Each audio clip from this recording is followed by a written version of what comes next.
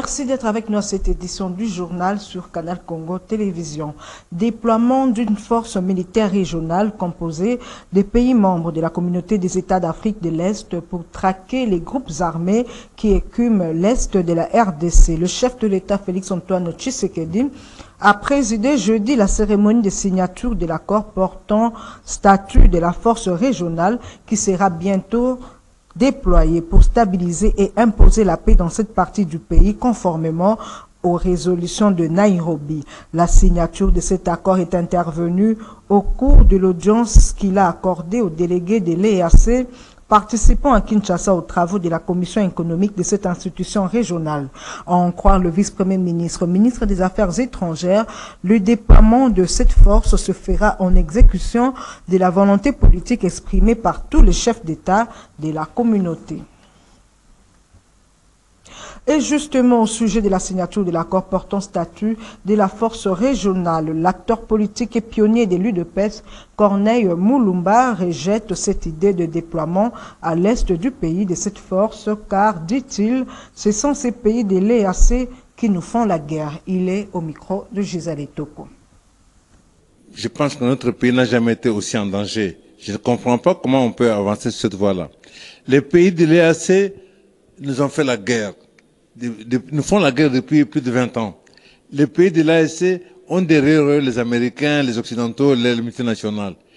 Les pays de l'ASC, n'eût été la SADEC, le Congo n'existerait plus aujourd'hui. D'abord, comment est-ce qu'on peut apprendre notre pays, le faire entrer dans cette structure-là, composée de, de, de, de, nos ennemis? Et ces pays-là, on se précipite pour signer les accords pour qu'ils soient, leurs troupes soient sur notre sol. Et nous sommes à un an pratiquement des élections. Ça veut dire qu'on va entrer dans une période de trouble. En même temps, on aura des troupes étrangères sur toute la partie est de notre pays. Et ne perdez pas de vue que les troupes de l'AEC ont, EAC ont ici, de l'autre côté du fleuve, à Maluku, côté Brazzaville, 120 km où ils peuvent opérer à l'aise on peut stocker des militaires, on peut stocker des armes, on peut tout faire là-bas. Et on est à trois minutes pour traverser Trakishasa. Donc, on a les ennemis à la porte ici, et on va les avoir dans, dans, dans la partie est du, du, pays. Pour quelle raison? Pour quelle raison? Pour combattre le, entre guillemets, M23 ou le Rwanda? Non. Je pense qu'on n'a pas besoin de ces troupes étrangères. Nous devrions tous nous lever contre cela. Il faut coûte que coûte dénoncer cela, parce que notre pays est en danger. Lorsque ces troupes-là qui auront, vous aurez troupes rwandaises, ougandaises, kenyanes, plus la MONUSCO. Sachez que la base logistique de la MONUSCO est en Ouganda. Ils auront donc et l'argent et la logistique. Comment allons-nous faire pour récupérer cette partie du territoire?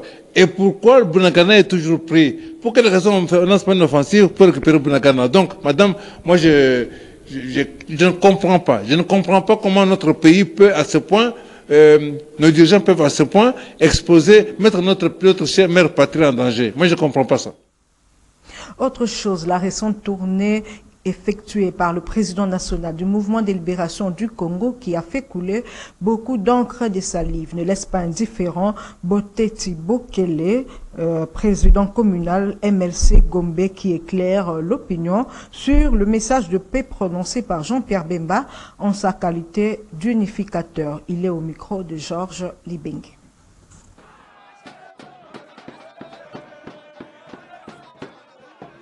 La tournée entamée tout récemment par le président national du mouvement de libération du Congo MLC dans le Grand Équateur, dont certains l'ont qualifié de tribaliste, ne laisse pas indifférent Bote Tibokele Luka, président communal MLC Gombe.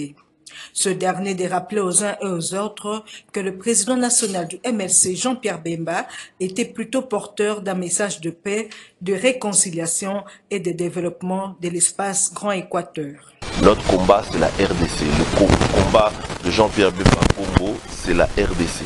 Tant que les gens vont continuer à ne pas intégrer ça, bah, ils seront là pour raconter des histoires, vouloir créer des polémiques inutiles. Le message a été clair, clairement perçu. Jean-Pierre Bemba, c'est un leader national. Il n'est pas là pour l'Équateur uniquement. D'ailleurs, quand vous regardez, et dans les nominations du parti et dans les nominations des structures, on n'a pas que des gens qui sont de l'Équateur. Bien au contraire, la majorité sont d'ailleurs parce que l'Équateur en lui-même est une minorité. C'est normal que les gens puissent douter qu'il va faire les 26 provinces, mais il va les faire. Comme les gens aussi doutaient qu'il allait faire le tour de 24 communes de Kinshasa, mais il est en train de leur donner tort parce qu'il le fait. Alors, euh, c'est un homme de promesse. S'il dit je vais faire, il fera. Il prendra son temps, mais il va aller partout pas seulement dans les provinces qu'on a l'habitude de voir à la télé. Il va aller dans toutes les provinces de la RDC. La commune de la Gombe est une commune un peu complexe parce que c'est un centre d'affaires, c'est un centre d'hôtel, c'est un centre de business, c'est un centre euh, entre parenthèses des expatriés. Les gens aiment appeler ça la République de la Gombe. Mais moi je suis contre cette idée-là. La commune de la Gombe a des problèmes précis comme d'autres. On a des problèmes d'eau, on a des problèmes de courant.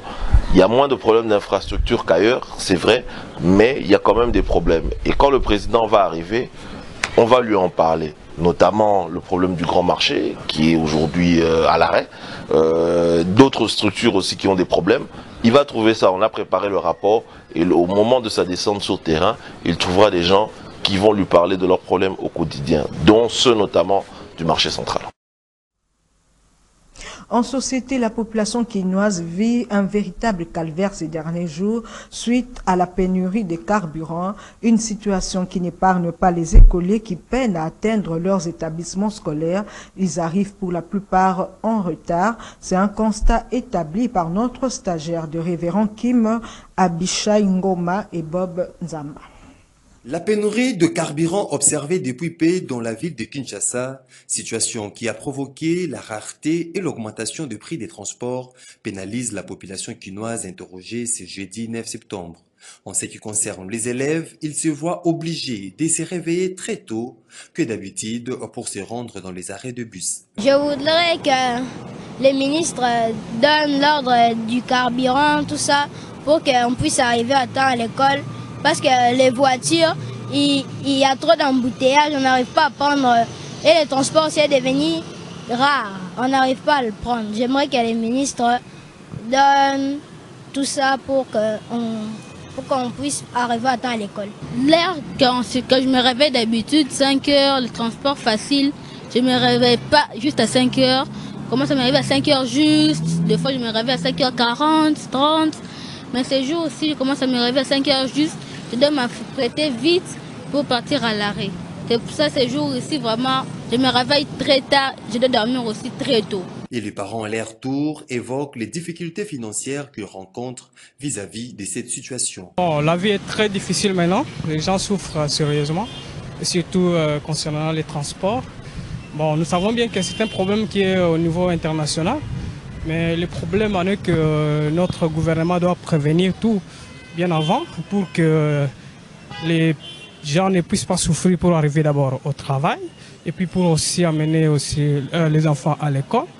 Et c'est pour cela le gouvernement, surtout euh, le ministre euh, qui est chargé des, hydrocarbures, doit vraiment prendre, faire une politique vraiment préventive pour que le pays ne puisse pas subir les pénuries en carburant il y a aussi les vols qui n'arrivent plus à aller dans les destinations. Il y a beaucoup de choses qu'il faut faire. Euh, je pense que de ces côtés-là, même le chef d'État doit s'impliquer pour que les pays puissent être euh, stables. Bon, que l'autorité qui est mieux placée puisse euh, bien gérer ce pays et trouver la solution vu la situation s'empire jour à jour. Donc c'est ça pour notre souci. Le gouvernement est appelé à prendre des initiatives pour la mise en œuvre d'une solution rapide dans un bref délai. Le problème des pénuries de carburant RDC qui constitue un véritable casse-tête pour la population congolaise en particulier, pour certains qui sont contraints de veiller dans les stations-service pour s'approvisionner en carburant et d'autres sont obligés de marcher à pied par manque de transport dont les tarifs ont été revus à la hausse par les transporteurs. Maître Claude Bafoifo interrogé à ces sujets, on donne quelques pistes de solutions. Ce dernier place également un mot au sujet du décès de la reine Elisabeth II d'Angleterre, Niwa Pezo l'a approché. La pénurie de carburant constitue un véritable casse-tête, non seulement pour les conducteurs taxi, taxibus ou motocyclistes, mais aussi pour les usagers. Alors, comment y faire face? Maître Claude Bafoifoy, analyste politique, propose quelques pistes de solutions. Nous pouvons parler d'une grève des pétroliers. Les pétroliers ont fait une grève et ils ont choisi la rentrée scolaire pour perturber la vie du pauvre élève, des pauvres parents, et exiger sûrement certaines choses au gouvernement afin peut-être de se procurer un peu plus de bénéfices. Alors, cette grève des pétroliers, elle, a été faite vis-à-vis du gouvernement, qui est son, partenaire, avec qui euh, les pétroliers doivent se mettre toujours ensemble parler, collaborer, pour trouver toujours des solutions, au lieu d'aller à la grève comme dans une entreprise. Euh, eux, ils sont des commerçants. Quand ils ne travaillent pas pendant cinq jours, ils, commettent, ils, connaissent des pertes. Et parfois, les pertes de cinq jours peuvent être plus importantes que la douleur qu'ils ont imposée à la population. Parce que le peuple, il va continuer à vivre et il finira toujours par retrouver euh, son pouvoir d'achat, sa force euh, de pouvoir maîtriser les données. Donc, moi, je pense que pour le moment, le gouvernement, ainsi que les opérateurs économiques qui sont des commerçants, les pétroliers, doivent se mettre sur la même table et se regarder en face et trouver des solutions. Et lever la grève le décès de la reine Elisabeth II d'Angleterre n'a pas laissé indifférent maître Claude Bafoifoy. Je suis très attristé. Je ne suis pas chef de l'État, mais je suis très attristé. Après avoir régné 70 ans durant, 70 ans durant, nous, en principe, on doit faire une très grande fête d'une grande dame qui a vu plusieurs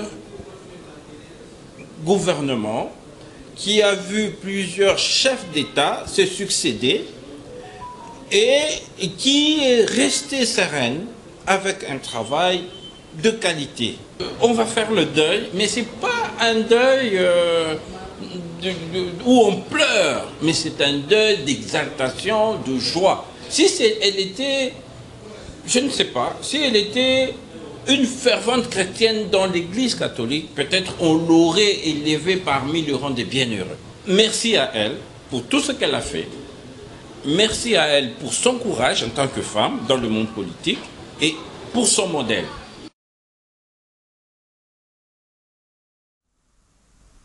Et puis les enseignants du ministère des Affaires sociales, communément appelés éducateurs sociaux, boycottent, menacent, euh, j'allais dire, de boycotter la rentrée scolaire prévue le lundi 12 septembre 2022. Ainsi invite-t-il le gouvernement à répondre à, leurs euh, à ses engagements avant la reprise des cours. Autre détail avec Maxime Macabou et Bob Nzamba. La rentrée scolaire au ministère des Affaires sociales prévue pour ce 12 septembre risque de ne pas avoir lieu. Les éducateurs sociaux invitent le gouvernement à répondre à ses engagements avant la reprise de cours. Léonard Moulélé est président syndical.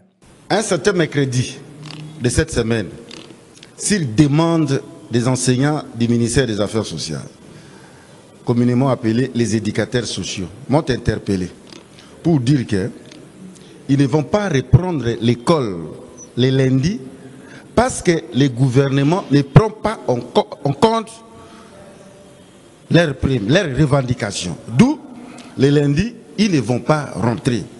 Il m'a dit de venir informer, ils m'ont dit de venir informer au gouvernement qu'avant les lundis, le gouvernement doit faire quelque chose. C'est-à-dire que depuis 2019 jusqu'à 2020,22 aujourd'hui, au moment où je vous parle, les enseignants du ministère des Affaires sociales, les éducateurs sociaux, ne sont jamais payés. Ça, je parle de la prime.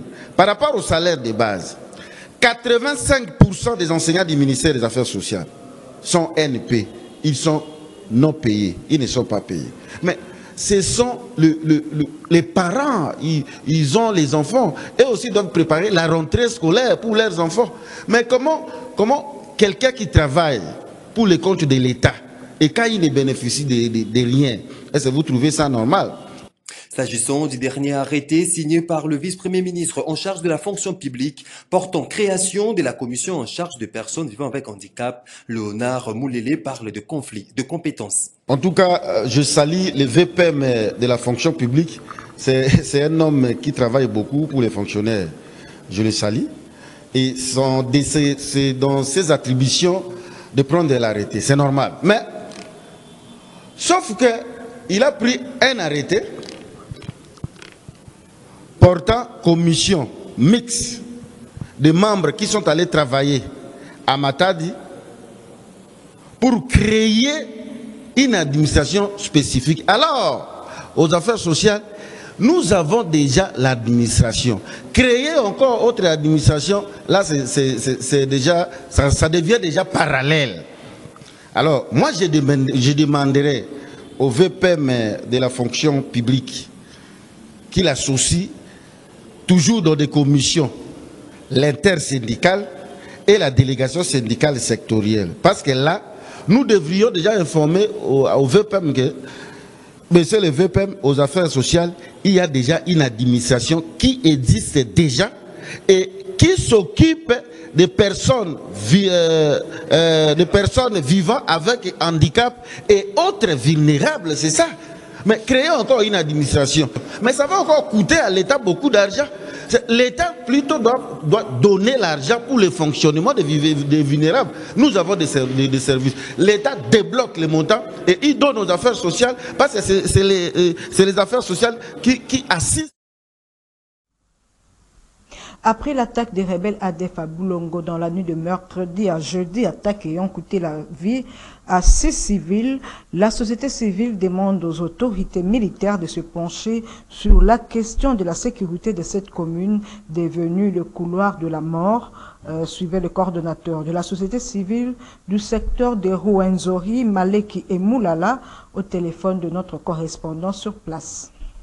Nous, comme nouvelle société civile du secteur Zori, nous condamnons avec la toute dernière énergie ce que l'ennemi a fait au niveau de la commune. Nous, on ne comprend pas vraiment comment l'ennemi peut commencer à s'attaquer à la population à 20h30 sans intervention pendant qu'on a une multitude de forces dans la commune. Donc nous pensons que c'est la défaillance des services de sécurité qui sont commis à Boulongo pour sécuriser la population. Nous pensons que les commandants en charge des opérations Sokola 1 puissent voir comment travailler sur cette question et interpeller ces services là-bas, puisque leur travail c'est de protéger la communauté, c'est de protéger la population et leurs biens. Mais on est déçus quand on continue à compter les morts des civils comme ça. On est déçus vraiment. Fin de ce journal sur Canal Congo Télévision. Merci à tous de l'avoir suivi. Au revoir.